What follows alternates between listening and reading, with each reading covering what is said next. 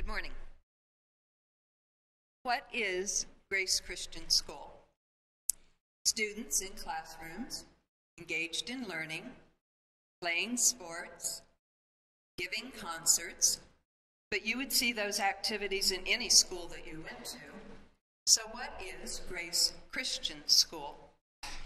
It's a ministry that began in the fall of 1975 with two staff members and 12 students, ages 4, 5, and 6. Its structure is the same as the structure of the church.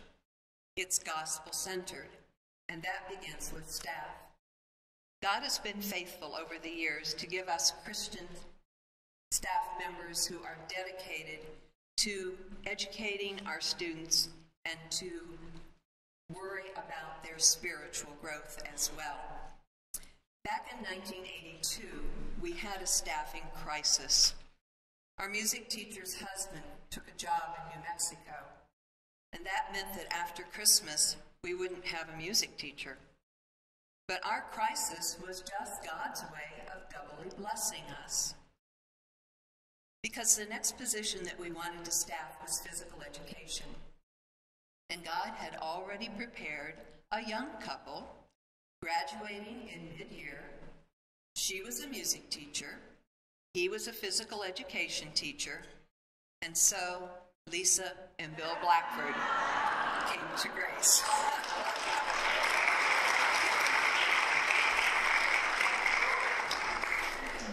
One afternoon in November 1983, our first soccer team, coached by Bill, took the field, and they were wearing t shirts that Bill had bought and dyed blue because we didn't have school uniforms. Unfortunately, they lost that first soccer game to Odenton Christian School, 7 to 4. But that was the beginning of our three seasons of sports for our middle school students here. This fall, our boys soccer team placed second in their tournament, winning the runner up trophy. Our girls volleyball team capped an undefeated season, winning their tournament. And our boys and girls basketball teams separated, celebrated their tournament wins. In 1988, God moved a young lady, Miss Cindy Taylor, from Michigan to Maryland to teach music in Grace Christian School to find the husband that he had prepared for her. In 1995, God gave us Judy Navinger, who is now in her 19th year of teaching music here at Grace Christian School. Judy directs the Acorn Choir, and as they are giving their Christmas and spring musicals, she's also directing our students in kindergarten through grade three in their Christmas and spring musicals. In 2011, one of Judy's student teachers, Danny Beth Tanyos, returned to Grace to be part of our music staff. And in, in 2000, God gave us an extraordinary history teacher. Brady Wolcott.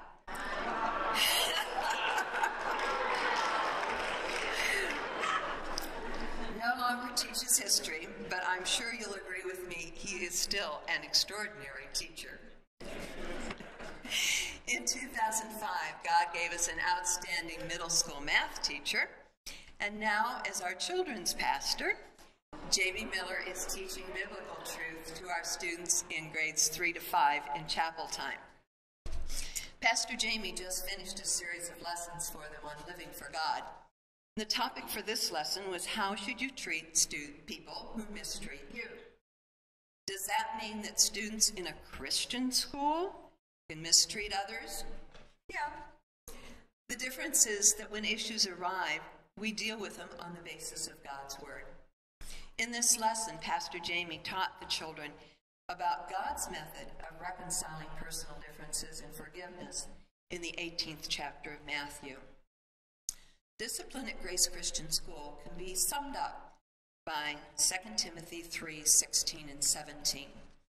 As our former pastor David Price would say, through God's Word, our students learn what is right, doctrine, what is not right, reproof, how to get right, correction, and how to stay right, instruction in righteousness, that the man of God might be perfect, thoroughly furnished unto all good works. Biblical instruction and scripture memorization are a very important part of the curriculum at Grace Christian School. But God's truth is in every subject, every grade level. Back in 1975, one of our biblical objectives for reading was that our students would learn to read God's Word for themselves. And in the spring of 1976, seven of those students had achieved that goal. So they were presented with their very own Bibles in a morning worship service. They used those Bibles then at school, both for Bible time and as a reading text. If you look carefully at the little girl in the middle of the back row, that's Debbie Bird, now Babcock. Even then, God was preparing her to return to us in 1993 to be part of our teaching staff. We still give Bibles to our first grade students every year, and they use those at school. In 2014, one of the objectives for our students in kindergarten reading is that as they're learning to read, they would be able to tell if a story is make believe or if it's true. But the important thing they learn is that God's Word is always true. Fourth grade students in science study the movements of the moon and other heavenly bodies, and they see those as examples of God's faithfulness and dependability. Middle school students in chamber choir evaluate the lyrics of their favorite songs based on Philippians 4 8. Music is part of corporate worship at Grace Christian School. Students in kindergarten through grade two have chapel once a month. Pastor Jamie leads the chapel services for students in grades three to five weekly, and local pastors, including our own, address biblical issues with our students in grades six through eight in their weekly chapels. There are opportunities for service. Some of our middle school students are on the worship team, leading their classmates in song during their chapel times. They can also be in the service club, helping younger students and assisting teachers in various uh, ways. We also have opportunities for school wide service. Over a hundred of the boxes sent from Grace Baptist Church for Operation Christmas Child were donated by school families. And Joy Wolcott, who was leading up that project, yeah, she was part of the school. She was on our secretary. She was our secretary for a number of years. Discipleship is the reason that Grace Christian School exists. Our mission is to provide an education integrated with scriptures to help students build a rock solid foundation of faith so that they can live for Christ and serve Him. A number of our graduates are serving in ministries of Grace Baptist Church. Yvonne Harton, with her husband, Joe Tafigi, are missionaries in Turkey. Christy Seawalk is in Russia. Here at home, Brandon Redmond and Patrick Livesey are ushering. Sean Brown, Joshua, and Nathan Seawalk work with Bill Blackford in the U Turn and 24 7 youth ministries. Joshua and Nathan are also in the orchestra, along with Amanda Redmond and Stephanie Yeager. Kim Hopkins sings in the choir, and she assists Judy Navinger with the Acorn choir. Kristen Blackford is our church secretary, and of course, Bryce Blackford leads us in choral worship on Sunday mornings. Grace Christian School is a community of 327 adults and students living, working, growing together.